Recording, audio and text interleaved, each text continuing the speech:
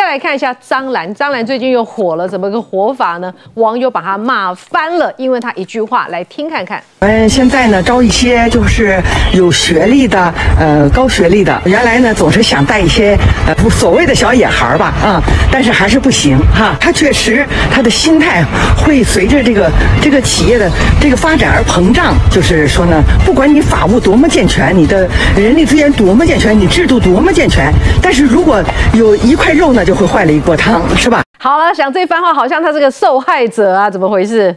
因为他现在又上热搜哦，实际实际上蟑螂关我什么事啊？但是因为他讲了这个上了热搜以后，我也很好奇啊，讲人家野小孩啊，而且他说他不想要再招那些低学历的哈，那当然网友就跳出来了吧，就说哎，你这个老板更野吧？人家是野小孩，你是野老板。我我我讲一下，最近他几个员工陆续离职，孟非啦，呃，孟鹤啦，菲菲啦，文文啦，慢慢，尤其是孟鹤讲什么？他说这个母子俩。就就张兰跟汪小菲，对员工没有好脸色。哎，不会啊，我们在荧幕上面看他也喜欢喝绿茶，对不对？哦，展示一些手表啊，嗯，看起来而且笑笑脸啊，啊，对，在直播间的时候好像跟旁边的主持人互动也不错啊。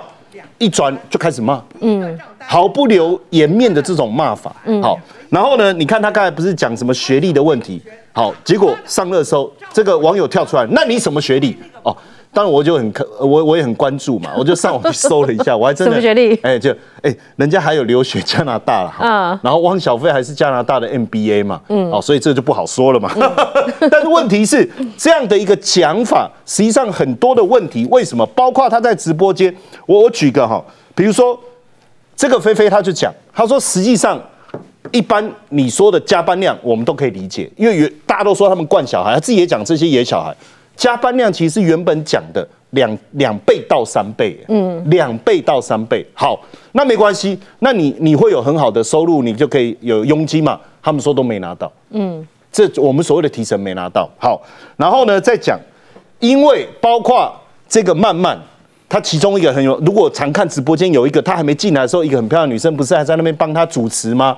照道理，这个应该是最挺他的。实际上从头到尾都没有讲过什么。可是他们就说什么他挖角啊什么？你知道张楠跑去他的，就跑去跟他留言说：“哎呀，你这么有心机啊，以后你生出来的小孩也会很有心机啊！你扯人家的小孩干嘛？人家也还没生啊！我知道，因为他跟他的小孩是这样嘛。嗯，哦，所以他觉得别人应该也是这样，会不会是这样？好，另外一个在直播间的时候，一个叫文文的嘛，你知道吗？直接讲说。就他就不舒服，突然跑出去嘛？你知道张兰怎么讲？你干嘛？他说啊，我那个来不舒服嘛？怎么样？我是我是养我是在在养员工还是在养祖宗啊？哦，哎哎哎，大陆人骂人是蛮蛮厉害，不是骂孙子就是大爷，要不然就是祖宗嘛。嗯，那讲话真的实在是很苛刻，千万不要学哦，这个不好啊。现在我们也看到了，当然我们讲的嚣嚣张没有落魄的久嘛，对不对？他现在纽约的这个豪华公寓啊，在曼哈顿中城啊，当时花一千零二十五万美金买入啊，这现在竞拍啊。那起标价七百万美金，没有人要拍啊。嗯，我我觉得如果是我，我也不想买啊。嗯，我买你们这些人的这个干嘛？但是目前看起来债务已经出问题了哈。嗯，那实际上啊，我们从这个事件呢，因为张兰他就搞直播嘛，然后他底下的这些。呃，他们这个 group 大家都在搞直播，大家也会很好奇嘛。哎，这个直播啊，我们所谓的电商主播啦，不是记者那种新闻台的主播，收入好像很好。哦过去哦，带货啊，好像真的年收入可以到上千万人民币了哈。但是现在据说目前急剧的下滑哦，好一点的可能只剩下百万人民币哦。对。但当然还是很多，因为很多网友说，嗯，我一年都不到三万，你既然百万，哎，掉这么多，还有这么多，但是实际上也有人在讲，他们的薪水少了十分之一，耶，少非常的多，也代表整个市场的结构跟氛围已经产生了那么大的转变哦。直播里面有个东西叫抖内嘛，哦，对不对？哦，这个这个最清楚，他常常要抖内人家嘛，哦，不不，哦，这个被他太太发现我，他到到时候又要怪我了。这个抖内一个状况是什么？哈，就是呃。有一个女一个呃这太太了哈，在街上拿棒拿拿那个棍棒啊啊那揍她老公啊，嗯，哦，然后同时当时还有另外一个女生也在旁边哦，大家才惊觉那个是这个抖音里面的一个女主播啊。那为什么她太太这么生气呢？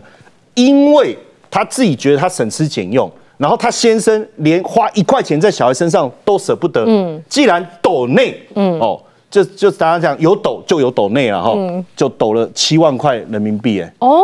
然后另外一个，我觉得看了也很心凉哦，就就是这种电商的，为什么之前讲主播的收入，电商主播的收入，其中有一个很大的来源，除了直播带货就是抖内嘛，嗯，好，那你知道有有有这个兄弟啊，父母亲离世留了一笔遗产呐，结果他们把这些钱花在哪里啊？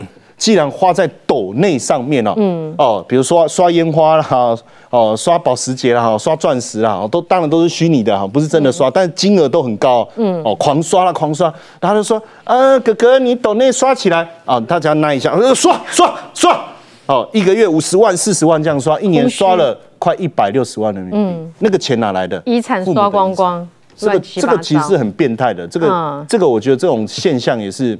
很诡异啊！嗯，好，这是中国内部的状况。